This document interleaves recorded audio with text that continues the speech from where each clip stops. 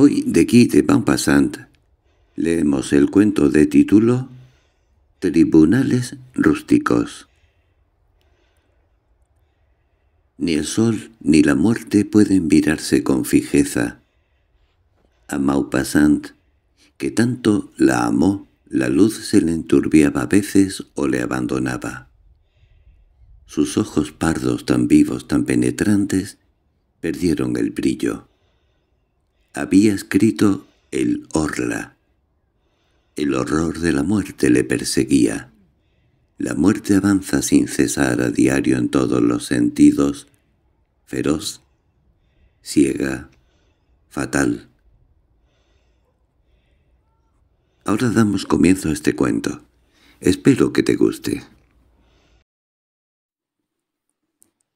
Tribunales rústicos Un cuento de Guy de Maupassant En la sala del juzgado de paz de Yorkville se hallaban muchos labriegos aguardando, apoyados en las paredes, inmóviles, a que diera principio la sesión. Los había de muy diferente complexión, altos y bajos, gordos, coloradotes como tomates y flacuchos, denegridos que parecían hechos con un tronco de manzano, habían dejado en el suelo sus canastas y se mostraban reposados y silenciosos, apoyados en las paredes, rumiando cada uno sus asuntos. Apestaban todos a caballo y a sudor, a leche agria y a estercolero. Revoloteando, zumbaban las moscas junto al techo blanquecino y se oían cantar los gallos en los corrales del pueblo. Sobre una especie de estrado se alzaba una larga mesa, revestida con un tapete verde. Un viejo rugoso escribía sentado en una extremidad de la izquierda. Un gendarme, tieso como un uso, con la cabeza muy erguida, se sentaba al extremo de la derecha.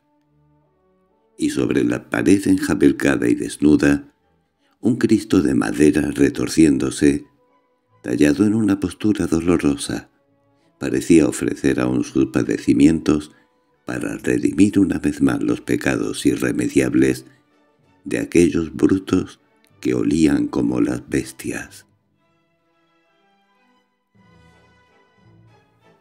Al fin compareció el señor juez de paz.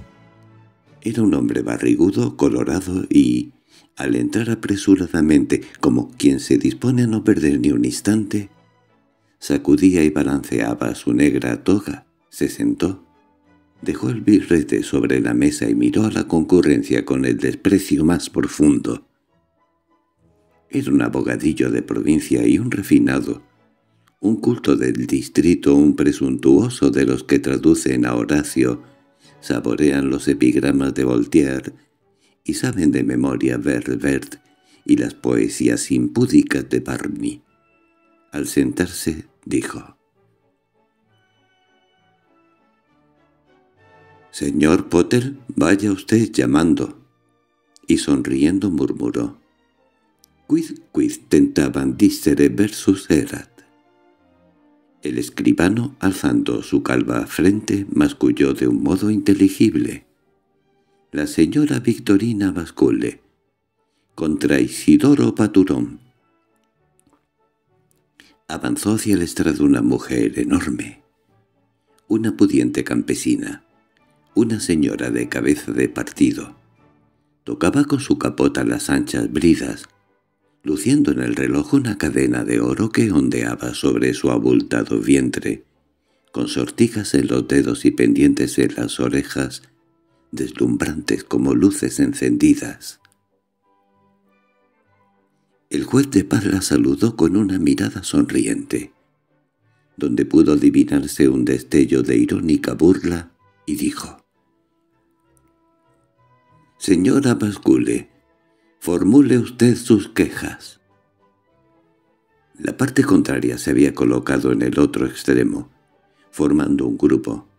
Eran tres personas, Un campesino de 26 años, mofletudo como una manzana y colorado como las amapolas.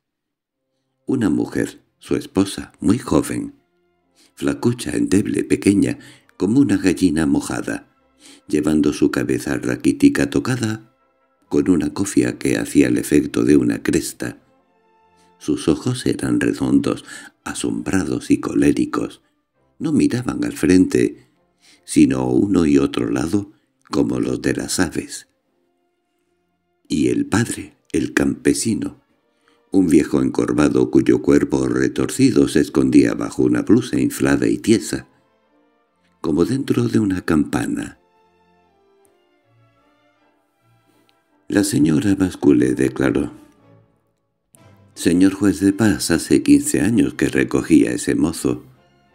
Lo eduqué tomándole cariño como una madre. Todo lo hice por él para convertirlo en un hombre de provecho». Me había prometido vivir conmigo jurándome que no se apartaría nunca de mí, hasta que me firmó un papel, azucarándomelo y, fiada de esto, yo le doté, cediéndole mis tierras de Bec de Mortín, que valen unos ocho mil francos. Así vivíamos una polilla, una enredadora, una lechuza, una desvergonzada. Juez de paz. Conténgase usted, señora Pasculta. Una, una... Bien, me lo callo. Una... Le volvió al revés el juicio haciéndole no sé qué, sí. No sé qué le hizo para entontecerle. Y el estúpido se casó con ella.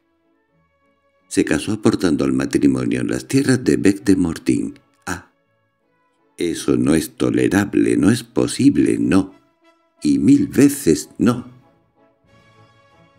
Tengo un papel, un compromiso firmado. Ese matrimonio es nulo. Vea usted mi documento.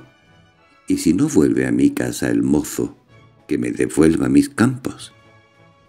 Hicimos para la cesión de las tierras una escritura notarial, y para el arreglo amistoso un escrito privado también es un documento. Cada cual debe quedarse con lo suyo.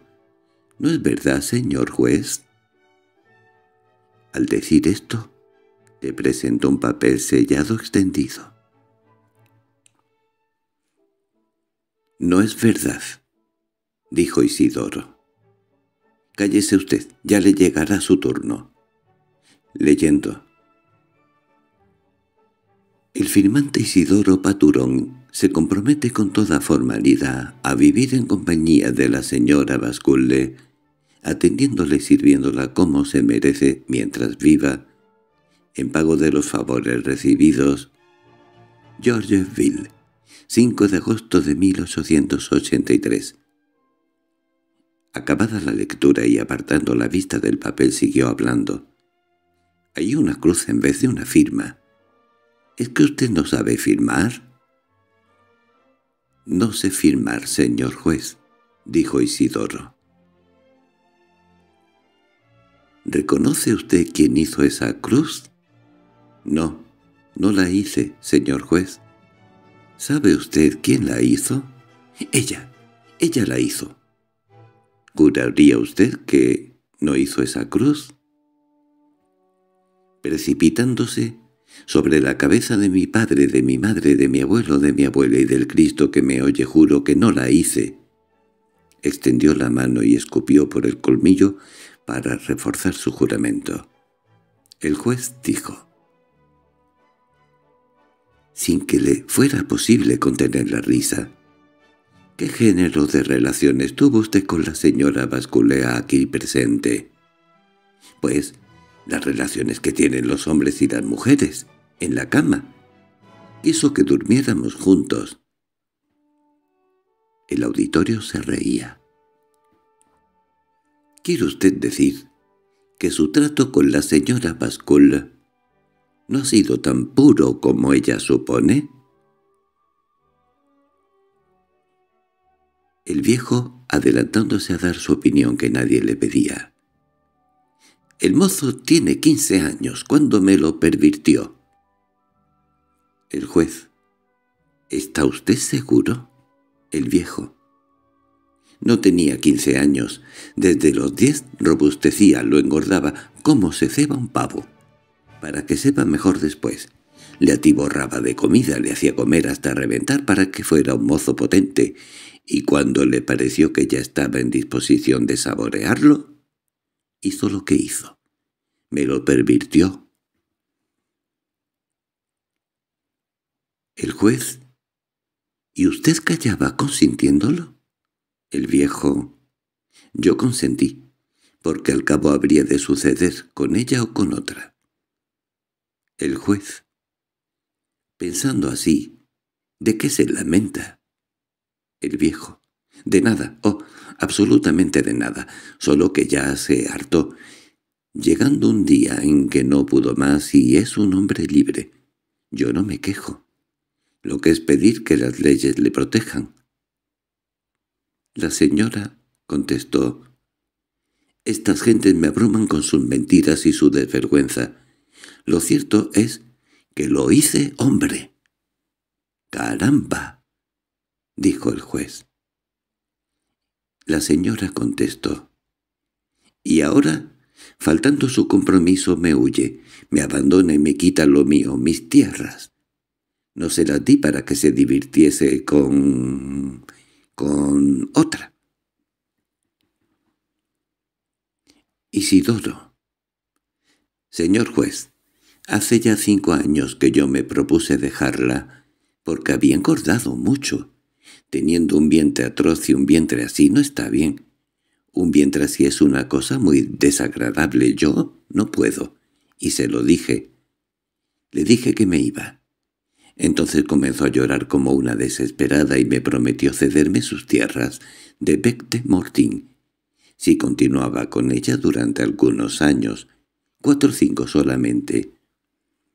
Yo lo medité y resolví aceptarlo. Era una proposición muy tentadora. —¿Usted qué hubiera hecho en mi lugar, señor juez? Continué viviendo con ella cinco años, día por día, hora por hora. Estábamos al fin en paz. A cada uno lo suyo. Valía la pena. La mujer de Isidora, hasta entonces callada y encogida, gritó de pronto con voz penetrante de cotorra. —Pero mírela usted, mírela usted, señor juez. Mire a esa tarrasca y dígame si no valía el campo que le dio, y mucho, mucho más lo que le hizo hacer. El viejo, bajando la cabeza convencido, repitió, «Sí, valía mucho más de lo que le hizo hacer». La señora Basculde se desplomó en un banco desmayada y cayeron de sus ojos lagrimones como puños. El juez, suavemente y consolando, «¿Qué quiere usted, señora?» «No puedo nada en este asunto. Hizo usted donación de las tierras. Es una escritura notarial en toda regla. No es posible remediarlo. Él estuvo en su derecho casándose y llevando al matrimonio los bienes que le había regalado usted. Yo no puedo inmiscuirme ahora en ciertas cuestiones de... de... de delicadeza. Estoy obligado a ver solo en este asunto el aspecto legal. Siento no hallarme, señora, en condiciones de servirla. El viejo, con una especie de altivez orgulloso de su victoria, ¿Podemos irnos a nuestra casa? Cuando quieran. El juicio ha terminado. Isidoro, su mujer y su padre salieron todos los campesinos. Los admiraban al pasar como se admira siempre al vencedor en cualquier pleito.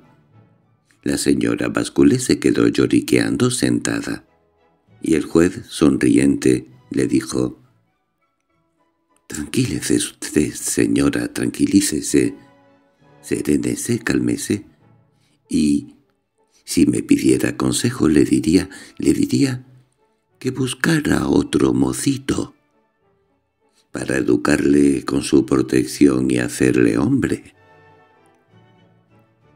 La señora dijo sorbiendo lágrimas, «Ya no lo encontraré, ya no, ya no».